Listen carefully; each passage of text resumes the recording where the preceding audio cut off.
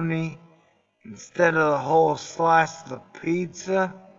NASA's bold asteroid capture mission pluck.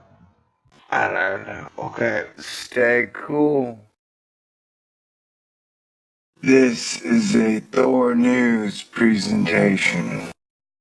Thor News presents Stay cool. Hit the button, baby.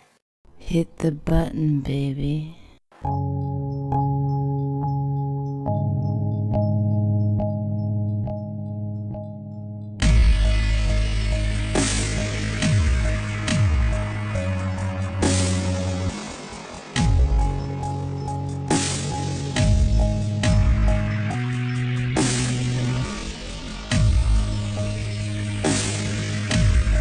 In honor of America's total love for the Hubble telescope, which has brought us amazing images over the decades of our own galaxy, of our own solar system, and of the universe.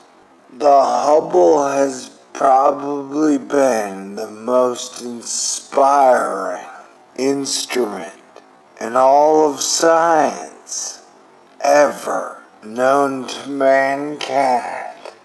So, with the greatest respect for ritual and tradition, NASA has announced they will never replace the Hubble because America loves it so much that to come up with something better and more improved would only sully the name of the Hubble, which has done us such a great service in 25 years.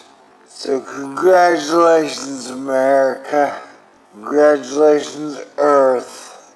You'll never have to dream about looking at the universe in much better pixels.